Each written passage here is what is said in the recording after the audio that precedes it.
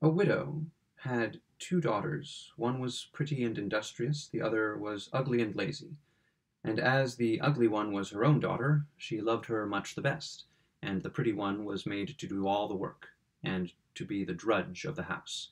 Every day the poor girl had to sit by a well on the high road and spin until her fingers bled. Now it happened once that as the spindle was bloody she dipped it into the well to wash it, but it slipped out of her hand and fell in. Then she began to cry and ran to her stepmother and told her of her misfortune.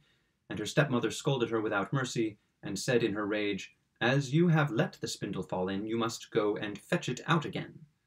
Then the girl went back again to the well, not knowing what to do, and in the despair of her heart she jumped down into the well the same way the spindle had gone. After that she knew nothing, and when she came to herself she was in a beautiful meadow and the sun was shining on the flowers that grew round her.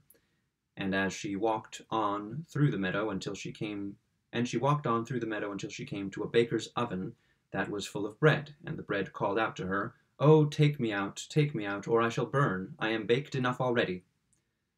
Then she drew near, and with the baker's peel she took out all the loaves one after the other, and she went farther on till she came to a tree weighed down with apples, and it called out to her, Oh, shake me, shake me, we apples are all of us ripe.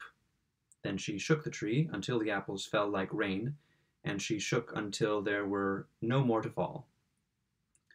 And when she had gathered them together in a heap, she went on farther. At last she came to a little house, and an old woman was peeping out of it, but she had such a such great teeth that the girl was terrified and about to run away, only the old woman called her back. What are you afraid of, my dear child? Come and live with me, and if you do the housework well and orderly, things shall go well with you. You must take great pains to make my bed well and shake it up thoroughly, so that the feathers fly about, and then in the world and then in the world it snows, for I am Mother Hulda, as the old woman spoke so kindly, the girl took courage, consented, and went to her work. She did everything to the old woman's satisfaction, and shook the bed with such a will that the feathers flew about like snowflakes, and so she led a good life, had never a cross word, but boiled and roast meat every day. When she had lived a long time with Mother Hulda, she began to feel sad, not knowing herself what ailed her, at last she began to think she must be homesick, and although she was a thousand times better off than at home where she was, yet she had a great longing to go home. At last she said to her mistress, I am homesick, and although I am very well off here, I cannot stay any longer. I must go back to my own home. Mother Hulda answered, It pleases me well that you should wish to go home, and as you have served me faithfully, I will undertake to send you there. She took her by the hand and led her to a large door standing open, and as she was passing through it, there fell upon her a heavy shower of gold, and the gold hung all about her, so that she was covered with it.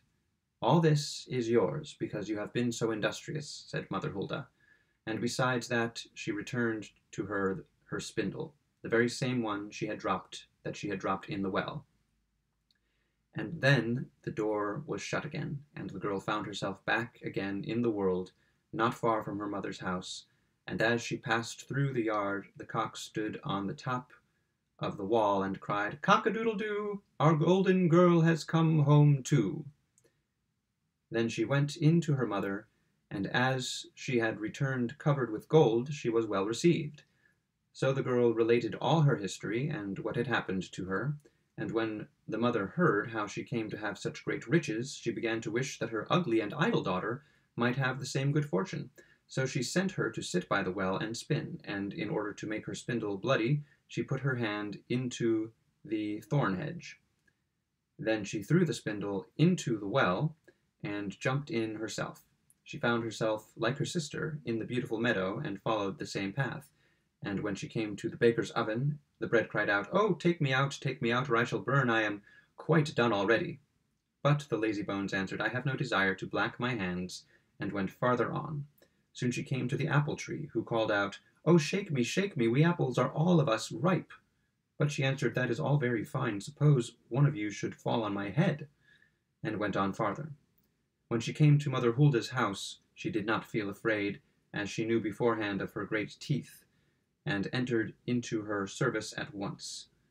The first day she put her hand well to the work, and was industrious, and did everything Mother Hulda bade her, because of the gold she expected. But the second day she began to be idle, and the third day still more so, so that she would not get up in the morning. Neither did she make Mother Hulda's bed as it ought to have been made, and did not shake it for the feathers to fly about, so that Mother Hulda soon grew tired of her, and gave her a warning, at which the lazy thing was well pleased, and thought that now the shower of gold was coming. So Mother Hulda led her to the door, and as she stood in the doorway, instead of the shower of gold, a great kettle full of pitch was emptied over her. That is the reward for your service, said Mother Hulda, and shut the door. So the lazy girl came home all covered with pitch, and the cock on the top of the well, seeing her, cried, Cock a doodle doo, our dirty girl has come home too. And the pitch remained sticking to her fast, and never, as long as she lived, could it be got off.